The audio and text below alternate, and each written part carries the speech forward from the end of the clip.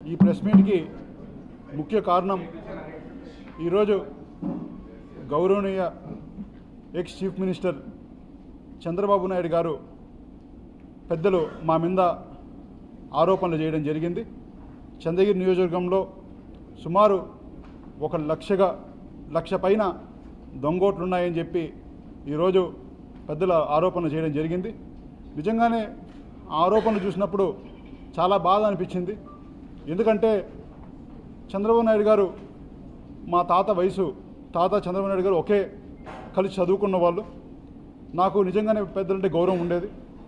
ఈరోజు నిజాలు తెలుసుకోకుండా ఈ విధంగా అసత్యాలు తెలియకుండా ఈరోజు పెద్దలు ఈ విధంగా ఆరోపణలు చేయడం నిజంగానే ఆయన వయసుకి ఇది తగింది కాదని చెప్పి నేనైతే భావిస్తున్నాను. ఎందుకంటే చంద్రగిరి నియోజకవర్గంలో మొత్తం రెండు వేల పంతొమ్మిదికి రెండు లక్షల తొంభై ఒక్క వెయ్యి నాలుగు వందల ఇరవై ఏడు ఓట్లు అంటే రెండు లక్షల తొంభై ఒక్క వేట్లు వేల ఓట్లు సుమారు రెండు వే రెండు వేల పంతొమ్మిదికి ఓట్లు ఉండడం జరిగింది. రెండు వేల ఇరవై నాలుగుకి వచ్చేసరికి మూడు లక్షల ఎనిమిది వేల ఓట్లు ఈరోజు మొన్న డ్రాఫ్ట్లో కూడా పబ్లిష్ చేయి రావడం జరిగింది ఫైనల్ డ్రాఫ్ట్లో. అంటే గత ఐదు సంవత్సరాల్లో కేవలం పదహారు వేల ఓట్లు మాత్రమే నమోదవ్వడం జరిగింది. అందులో కూడా తిరుపతి రూరల్లోనే సుమారు పదివేల పైన ఓట్లు నమోదవడం జరిగింది. దాని ముఖ్య కారణం తిరుపతికి ఎక్కువ ఉపాధి కోసం చుట్టుపక్కల ఉన్న గత పది కాన్స్టిట్యున్సీల నుంచి జనాలు కావచ్చు చాలామంది కావచ్చు తిరుపతికి రావడం జరుగుతుంది. తిరుపతికి ఎవరు వచ్చినా కూడా తిరుపతిలో ఉండేది తక్కువ. ఎందుకంటే ఆ భూభాగం తిరుపతి రూరల్ అనేది మూడు రేట్లు ఎక్కువ ఉంటుంది. తిరుపతి రూరల్లోనే తొంభై శాతం ఎక్కువ మంది ఉంటారు. అది కూడా గత ఐదు సంవత్సరాల్లో నూట అరవై అపార్ట్మెంట్లు ఐదు వేల రెండు వందల ఇల్లు కొత్త ఇల్లు తి- ఒక్క తిరుపతి ఊరిలో రావడం జరిగింది. ఐదు వేల రెండు వందల ఇల్లు వచ్చినప్పుడు కనీసం ఇంటికి ఒక ఇద్దరు వేసుకున్నా ఒక వన్ అండ్ హాఫ్ ఇద్దరు వేసుకున్నా కూడా ఒక పదివేల ఓట్లు కనీసం అంటే వాళ్ళు నమోదు చేసుకుంటారు.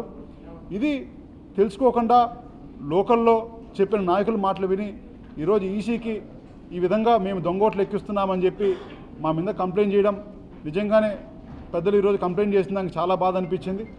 ఇది తప్పకుండా దీని మీద న్యాయ పోరాటం చేస్తాం. అదేవిధంగా న్యాయ పోరాటాలతోనే కాకుండా తప్పకుండా ఇదే విధంగా అసత్యాలు చెప్తే మేము ఎంత దూరమైనా దీని మీద వెళ్ళి తప్పకుండా ఆమర నిరాదీక్షకు కూడా నేను కూర్చుంటానని తెలియజేస్తున్నాను. ముఖ్యంగా ఇంకొక ముఖ్య ముఖ్యమైన విషయం చెప్పాలి ఏంటంటే నాన్నగారు రెండు వేల పంతొమ్మిదిలో ఆ రోజు ఉన్న ఓటర్ లిస్ట్ ఆ రోజు గౌరవ్ చంద్రబాబు నాయుడు గారు ముఖ్యమంత్రిగా ఉన్నప్పుడు ఓటర్ లిస్టులోనే వాళ్ళు తయారు చేసిన ఓటర్ లిస్టులోనే నలభై మూడు వేల పైగా ఓట్లతో గెలవడం జరిగింది. ఈరోజు గత ఐదు సంవత్సరాల్లో నాన్నగారు చేసిన మంచి కావచ్చు మేము ప్రజలకున్న దగ్గరగా ఉండే సంబంధాలు కావచ్చు గత ఐదు సంవత్సరాల్లో ఒక కోవిడ్ సమయంలో కావచ్చు ఒక వరదలు వస్తాయి కావచ్చు ఇంటింటికి మనం సహాయం చేయడం కావచ్చు పెళ్ళి కానుకలు ఇవ్వడం కావచ్చు అంటే వ్యక్తిగతంగా చేయడం కావచ్చు కొన్ని కోట్లు పెట్టి నియోజకవర్గాల్లో ప్రతి ఊరికి డెవలప్మెంట్ చేయడం కావచ్చు మా జగనన్న చేసిన సంక్షేమ పథకాలు కావచ్చు ఇవన్నీ కూడా మమ్మల్ని గెలిపిస్తాయని నేను బలమంగా విశ్వసిస్తున్నాను. అలాంటప్పుడు మాకు దొంగోట్లు ఎక్కించుకొని గెలవాల్సిన అవసరం ఏమాత్రం లేదని నేనైతే భావిస్తున్నాను. ఈ రోజు లేదు ఈ కర్మ మాకు ఎప్పుడు పట్టదు కదా అని చెప్పి నేనైతే మీడియా మిత్రులందరికీ కూడా తెలియజేస్తున్నాను. తప్పకుండా దీని మీద ఎంత దూరమైన పోరాటం చేస్తాం.